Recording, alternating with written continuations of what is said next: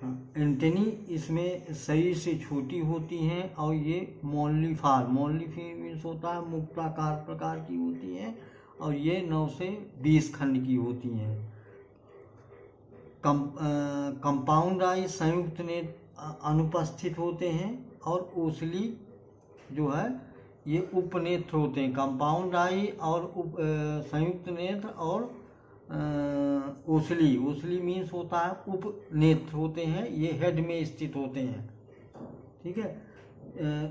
दोनों दो जोड़ी पंख होते हैं और ये समान तथा झिल्लीदार होते हैं। इसलिए इसको आइसोप्टेरा कहते हैं, अर्थात दोनों जोड़ी पंख समान होते हैं। जननांग जो है, या, ये, या तो ये अनुपस्थित होते हैं अथवा दोनों मेल और फीमेल में ये अवशेष के रूप में पाए जाते हैं। ठीक है? अब इसकी जो फैमिली है, एक फैमिली है इसमें मुख्य रूप से टर्मीटिडे, जिसपे टर्माइट आता है। ठीक है? जिसके टर्माइट इसमें आता है तो इसके तीन चार करेक्टर हैं।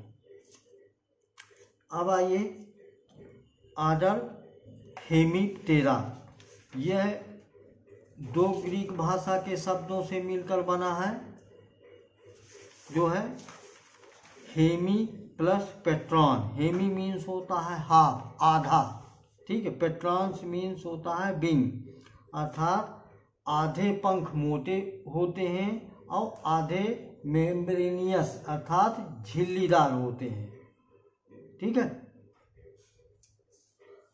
अब हेमीप्टेरा में जो है कौन कौन से कीट आते हैं, ठीक है? इसमें कई कीट आते हैं जो है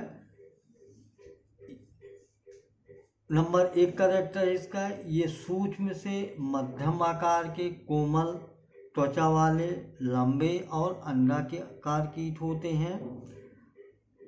अब हिमिप्टेरा आर्डर में पियर्सिंग एंड सकिंग टाइप के माउथ पार्ट्स होते हैं, ठीक है? जिसमें पियर्सिंग एंड सकिंग टाइप में जो इनका लेबियम होता है पार्ट्स ऑफ़ माउथ पार्ट्स है जो लेबियम जो होता है, इनका चोंच के रूप में या सोंड के रूप में परिवर्तित रहता है।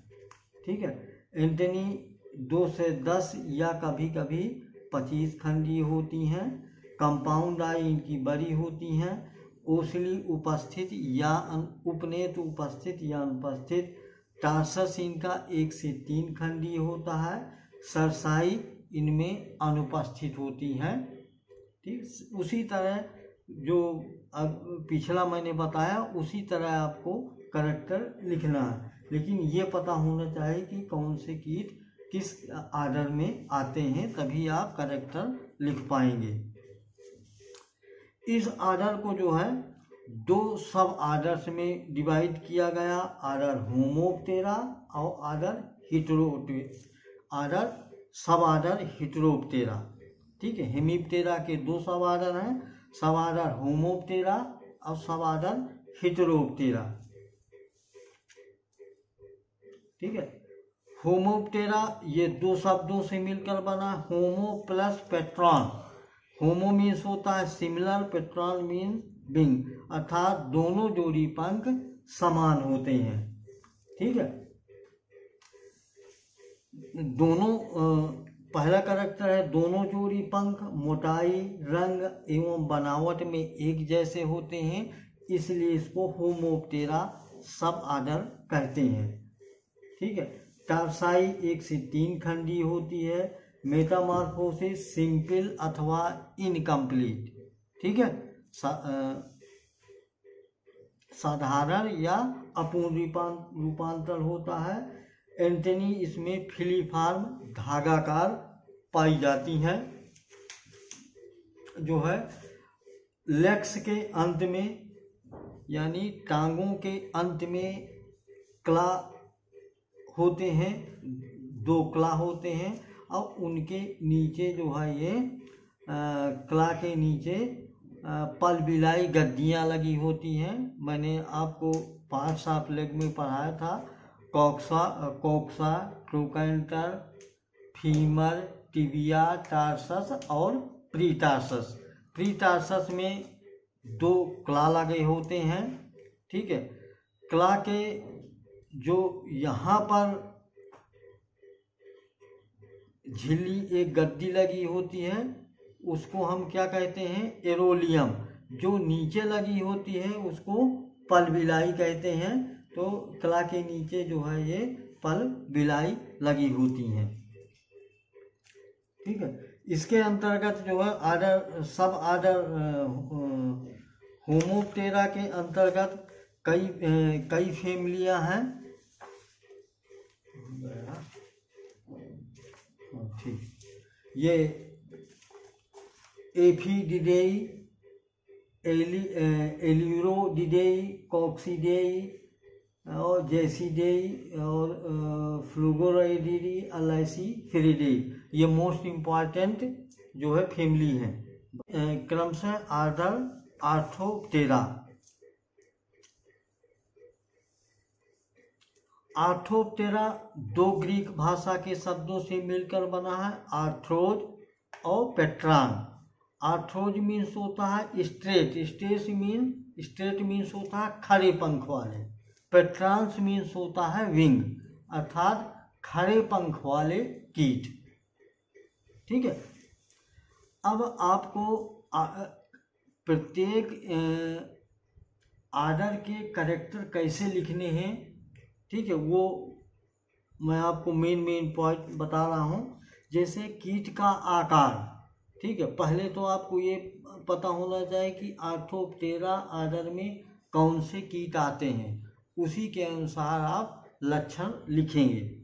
ठीक है, जैसे आर्थोप्टेरा आर्डर में जो है, ग्रास आपर आता है और ये कहते हैं एक इंसेक्ट है ग्राइलोटेल पाता है आपका वो आता है, क्या कहते हैं झींगुर आता है, ठीक है? लेकिन एग्रीकल्चर पॉइंट ऑफ़ व्यू से आपका ग्रास आपर एक्रीडिडई ये फैमिली में आता है। तो आप आर्थोपोरा के करेक्टर लिखने की ये है कि कीट का आकार कैसे हो, सूक्ष्म अति सूक्ष्म मध्यम या बड़े, ठीक है? ये सब के लिए है, बता रहा हूँ मैं। कीट के मुखांग किस मुखांग किस प्रकार के हैं उसकी एंटनी किस प्रकार की हैं? ठीक है, जैसे फिली फार्म है, या सिटेसियस है, या मोनली फार्म है, ठीक है। फिर हेड में ये कंपाउंड आई, जो है संयुक्त नेत या ओसली है कि नहीं है, उपनेत जिनको कहते हैं। फिर इसके बाद आपको वक्ष के बारे में लिखना होगा कि थोरक्स कितने भागों में डिवाइड है, पंख लगे होते हैं ठीक है? फिर रूपांतर कैसे होता है? इनकम्प्लीट होता है कि कंप्लीट मेटामार्फोसिस होती है। ठीक है? उसमें लेक्स में लेक्स में आ जाइए। लेक्स में जो है, आपके विशेषकर जो है आपको जैसा सरसाई के टार्सस के बारे में प्री टार्सस जो है, इसके बारे में लिखना होगा। फिर इसके बाद उदरी उपांग के बारे में एब्डामिनल जो है उपांग जो होते हैं, इनके बारे में लिखना होगा। ठीक है? जैसे आर्थोप्टेरा, अभी बताया मैंने, ये दो ग्रीक भाषा के शब्दों से मिलकर बना है, आर्थ्रोज प्लस पेट्रॉन। ठीक है? आर्थ्रोज मीन्स होता है स्ट्रेट स्ट्रेट मीन्स होता है खड़े। ठीक है? पेट्रॉन्स मीन्स होता है बिंग, यानी खड़े पंख वाले कीट। ठीक है? अब अब जैसे करेक्टर लिखना है तो इसका पहला करेक्टर है कि मध्यम से बड़े आकार वाले कीट होते हैं, नंबर एक। दूसरा, मुखांग, B biting and chewing type के मुखांग काटने और चबाने वाले मुखांग पाए जाते हैं। श्रृंगिकाएँ जो है फिलीफार्म या सिटेसियस सिटेसियस मीन्स होता है सूकाकार या सुई के आकार की फिलीफार मीन्स या धागाकार ठीक है? इसमें दो जोड़ी, अब आइए उस पे आ जाइए थोरेक्स में। दो जोड़ी पंख पाए जाते हैं, सीधे होते हैं। इनमें अगली जोड़ी जो पंख होते हैं, सकरे होते हैं और मोटे होते हैं। इसलिए इस प्रकार के पंखों को टैग मीना कहते हैं। ठीक है? टैग मीना, ये दो नंबर में आ सकता है। ठीक है? अगली जोड़ी पंख सकरे और मोटे होते हैं, इसलिए इस प्रकार के पंखों को टैग मीना कहते हैं। ठीक है? अब कंपाउंड एक जोड़ी संयुक्त नेत्र होते हैं और दो या तीन उपनेत्र होते हैं, ठीक है? इसके बाद आइए अब उदर में। उदर में टाइपेनम, कर्ण पता है इसको कहते हैं, या सेंस आर्गन्स होता है, ज्ञानेन्द्रियाँ होती हैं, जिसको, जिसके द्वारा कीट को मतलब आभास होता है, ठीक है? तो यह उदर के प्रथम खंड पर स्थित होता है, किन्हीं किन्हीं कीटों में ये टिबिया में स्थित होता है। टिबिया क्या है? पार्ट्स ऑफ़ लेग साइड ठीक है? टांगों का ये भाग है, ठीक है? मैंने वो बताया था coxa trochanter femur tibia tarsus और प्रीटार्सस ठीक है? तो ये टाइपेनम जो है, उदर के प्रथम खंड पर स्थित होता है या टिबिया या टिबिया के अग्रसिरों पर स्थित होता है। दो ही जगह ये टाइपेनम स्थित होता है, या तो उदर के प्रथम खंड पर या टिबिया पर। टिबिया क्या है? पार्ट्स ऑफ़ लेग है। शरीर लंब शरीर लंबा होता है, सरसाई पूर्ण विकसित होती हैं, ये एक जोड़ी होती हैं, और उदर के ये एनल, जहाँ पर गुदा होता है, वहाँ पर ये एनस, जिसको कहते हैं, वहीं पर ये एक जोड़ी स्थित होती हैं। ये हुए आपके आठों तेरह आर्डर के करेक्टर अब इसमें कौन कौन सी फैमिली आती हैं? अब उसमें पूछ सकता है कि आठों तेरह आर्डर के दो करेक्टर लिखिए, दो नंबर पे आएगा ये ठीक है? अब इसमें जो है फैमिली जो है एक्रीडिडेई एक्रीडिडेई फैमिली इसमें जो है, ये हीरो ग्लाइपस बैंगन ग्रास आपर का साइंटिफिक नेम है और इसमें इस एक पैडी ग्रास आपर है, एक खरीफ ग्रास आपर है, ठीक है खरीफ ग्रास आपर का साइंटिफिक नेम है हीरो ग्लाइपस निग्रो रिफिलेटस। और एक लोकस्ट आती इसमें सिस्टोसिरा ग्रीगेरिया। ठीक है? अब ए, अब ग्रास आपर के एक्रीडिडे में मुख्य रूप से ग्रास आपर अब इसके लक्षण जो है पहले आप आइए एंटनी से एंटनी शरीर की लंबाई से छोटी होती हैं। ठीक है? अब जो क्योंकि ग्रास आपर कूदता है। इसलिए इसकी जो है, दूसरा करेक्टर है कि पिछली टांग जो होती है, जो मेटाथोरेक्स में स्थित होती है, ये लंबी होती है और इनकी फीमर पार्ट्स ऑफ़ लेग है ये, ठीक है? फीमर जो है, ये मांसल और कूदने के लिए उपयुक्त होती है, मज़बूत होती है और फीमर पर जो है मैंने आपको बताया था एक खूंटियों की मज़बूत फ़ाइल लगी होती है। मज़बूत होने के कारण ये कीट जो है जंपिंग करते हैं, ठीक है? टार्सस दो या तीन खंडीय पार्ट्स ऑफ़ लेग्स ये टिबिया किसके? टिबिया के बाद आता है ये। दो से तीन खंडीय होता है, ठीक है? टाइपेनम भी आप लिख सकते हैं। उधर के प्रथम खंड के दोनों तरफ़ स्थित होता है। इस तरह से ये जो है एक्रीडिडेई के करेक्टर हैं।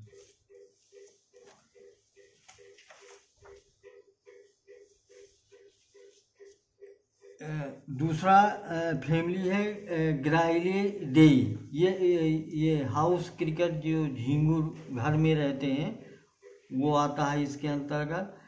एक फैमिली है ग्राइलो टेल पीडेई ये ग्राइलो टेल्पा इंसेक्ट आता है इसमें, ठीक है?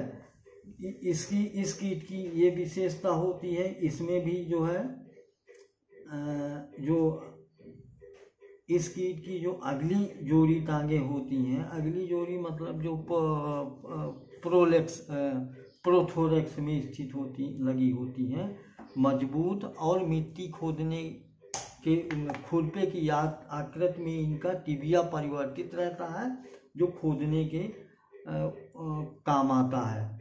ठीक है? इनका टा- दो से तीन खंडीय जो है, होता है। गाल्पो इस कीट के जो है, जो पंख जो होते हैं, सकरे और मोटे होते हैं, जिस इसलिए इसको टैग मीना कहते हैं। कर इसमें कर्ण पता है, टाइपेनम जो है, ये टिबिया पर स्थित होता है। ठीक है? इस तरह ये जो है, आप जो है इसमें मोस्ट इंपॉर्टेंट है आपकी जो फैमिली है आर्थोपटेरा की एक्रीडिडेई है, जिसके अंतर्गत आपका ग्रासा पर आता है। ठीक है? अब दूसरा आर्डर है आइसोपटेरा ठीक है? आइसोपटेरा ये ग्रीक भाषा का शब्द है, ठीक है? ये भी दो शब्दों से मिलकर बना है। Iso plus pteron. Iso plus pteron. Iso means होता है इक्वल पेट्रॉन्स मीन्स बिंग, पंख। अर्थात दोनों जोड़ी पंख समान होते हैं, ठीक है? दोनों जोड़ी पंख समान होते हैं। अब अब अब आपको करेक्टर लिखने के लिए, अब आइसोपटेरा आदर्श में कौन से आते हैं? आइसोपटेरा आर्डर में मुख्य रूप से दीमक आता है। ठीक है? अब दीमक के करेक्टर एक तरह से आपको लिखने ही है। दीमक के ये सूक्ष्म कीट होते हैं, सूक्ष्म से मध्यम आकार के होते हैं और कोमल त्वचा वाले कीट होते हैं। ठीक है? पहला करेक्टर ये है। दूसरा है, इनमें पॉलीमॉर्फिज्म, बहुरूपता होती है। बहुरूपता का यहाँ मतलब है, इनके जो परिवार में होते हैं, परिवार जो होता है, इनके परिवार में कई सदस्य होते हैं, जिसको हम ज्वाइंट फैमिली कहते हैं, ठीक है? जैसे राजा, रानी, नर, वर्कर, सिपाही और पंखधारी, नर और मादा। इसलिए इसको पॉलीमॉर्फिज्म बहुरूपता कहते हैं। ठीक है? तीसरा पॉइंट है, ये सामाजिक कीट होते हैं और ये कॉलोनी बनाकर रहते हैं। कॉलोनी में समूह बनाकर ये रहते हैं। अगला चौथा पॉइंट रूपांतरण जो है, ये सिंपल मेटामार्फोसिस या इनकम्प्लीट मेटामार्फोसिस होती है। ठीक है? इस कंप्लीट नहीं होते, ये ऐसा कहें कि इसमें कई जैसे राजा, रानी नर, वर्कर, सिपाही, पंखधारी नर मादा इसमें जो है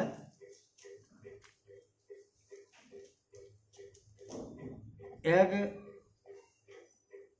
निम्फ और एडल्ट, यही, ये इतना होता है, ठीक है?